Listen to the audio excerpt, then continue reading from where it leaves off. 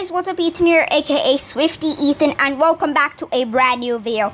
Today in this video I am going to be showing you how to make a cool MLab style or a normal uh, thumbnail. So uh, basically I'm going to be showing you all how to do it on Photoshop Touch. Now you can download Photoshop Touch on Android or iOS. Um, it's a pretty cool app. You can down, uh, uh, you know, edit your um, text, and you know, it's basically like Photoshop on the PC, but on an Android and iOS device. So right here on the uh, top left-hand corner, it says Adobe Photoshop Touch. So you can go in the App Store or the Android Store and uh, down, uh, type in Adobe Photoshop Touch, or you can go to the link down below in the description and download it from there since it isn't available on the Play Store. And I don't know about the App Store, so you might just want to find it yourselves. I'm really sorry, but yeah.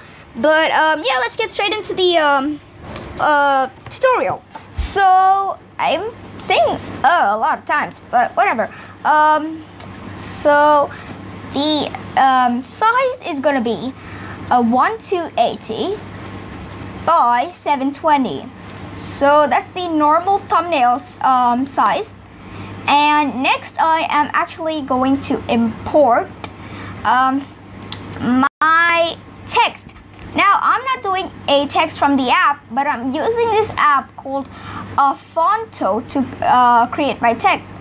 So um, basically you can download Phonto on the iOS store or the App Store and basically it's a um, an app to let you uh, you know get your um, what do you say? Get your um, your thingy, your text. So then you can also edit your text in that, but uh, I would suggest editing your text on here since it's way better. So uh, today I'm going to talk all about that and blah blah blah blah blah, and talk all about editing your text and all. So um, yeah, I'm just going to reposition that right there. Next, you have to go to uh, select pixels right here and hit select pixels and go to this at sign and and sign and go to gradient okay?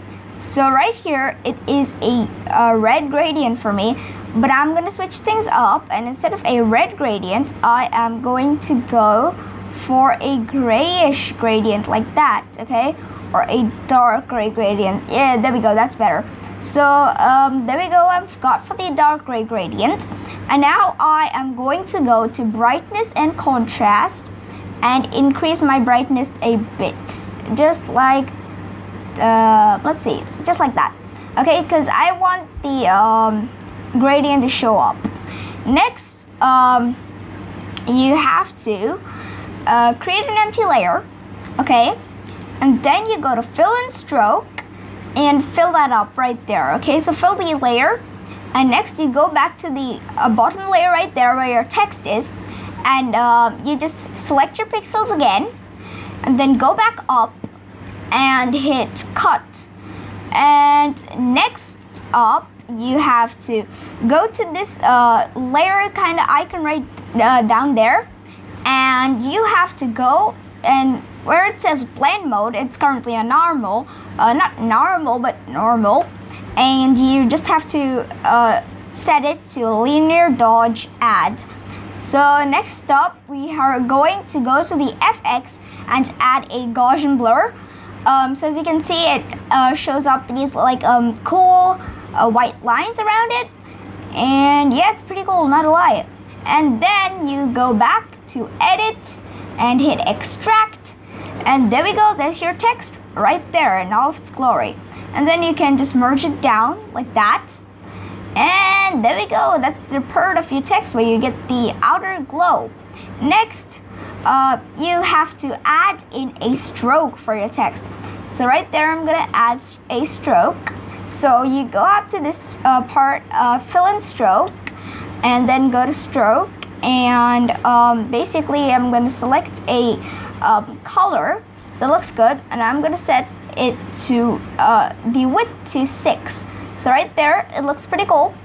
And now I'm going to um, duplicate this layer right there. So you click on the plus and hit duplicate layer then go back down and hit select pixels and fill in stroke.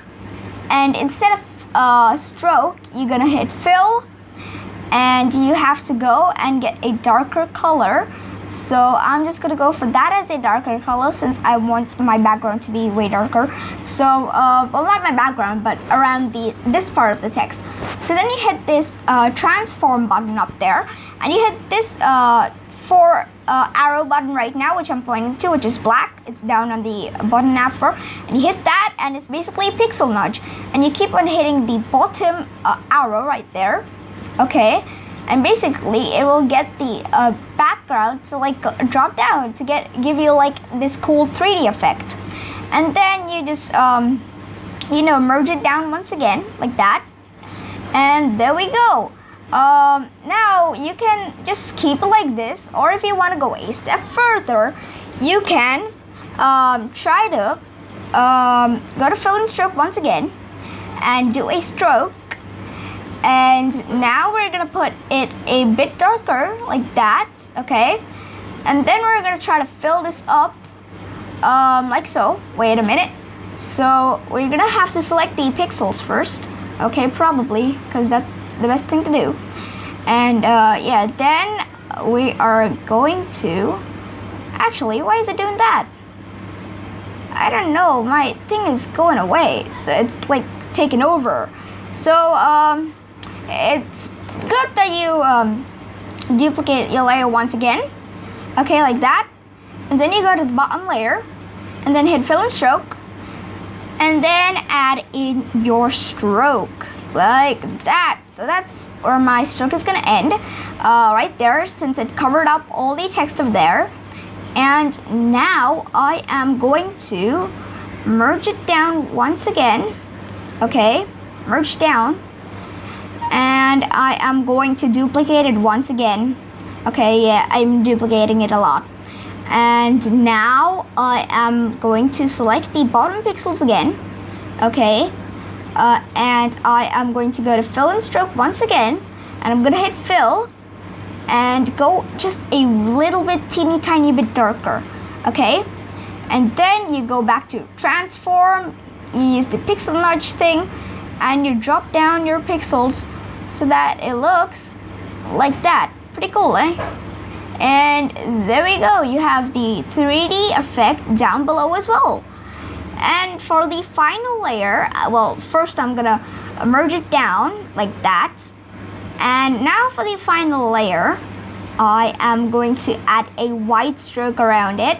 So there we go. I'm gonna go for stroke and hit white and go for like a level 6 stroke or whatever. Level 6? Level 6? Not level, but yeah. A number 6 stroke, whatever you call it. Okay, so let's try to go to 6. There we go. 6 is okay. And now again, once again, for the last time, I'm to duplicate this layer, go back down, again, select pixels, uh, go to fill and stroke, and go to fill again. And this time I am going to go for like a light gray color like that. And then I'm to go to transform, pixel nudge once again, and just nudge this a bit down to give it the last 3D effect like that. And there we go. Now you just have to merge your thing back down. So merge it down. And there we go. Your text is now done. And now you can add in your background and stuff. So I am gonna go to, um, let's say downloads. And I am gonna select this thing right here um, and I'm gonna put this as my background right now just for the sake of the video um, and then you can actually like select your color of background and stuff but I'm not gonna do that uh, today um, although you could so um, yeah now I am probably actually you know what let me just get it a bit reddish kind of like that okay and get the green not, not pink but like red so if you do know what I mean, like reddish like that or whatever, oh, let's just keep it like that, like a pinkish color. And now I am going to go for the gradient again. And this time for the gradient, I will once again uh, get this up, but I'm gonna get it up to like a reddish color like that, okay? So like it's gonna be red, and it's gonna the opacity is gonna be a bit low. Um, but yeah, that's a good enough red right there. And then there we go. That's my thumbnail, and I can like, um, you know, add flames to it. Okay, so I'm gonna add flames to it, and everything will be listed down below in the description. Um, so I'm gonna enable this button right here when it shows it's open so that you can free transform. Um, so right there it looks pretty cool. And yeah that's basically it. So yeah thank you for watching this video. I hope this video did help you out.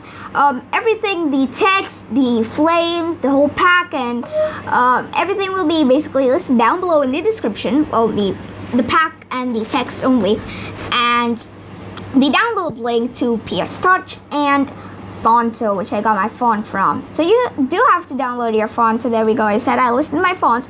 Uh, it's actually called Dimbo, so you can actually search it up yourself if you're not going through the link. Um, and yeah, that's basically all for today's tutorial. So yeah, don't forget to leave a like and subscribe. And yeah, I will see you guys next time. Bye!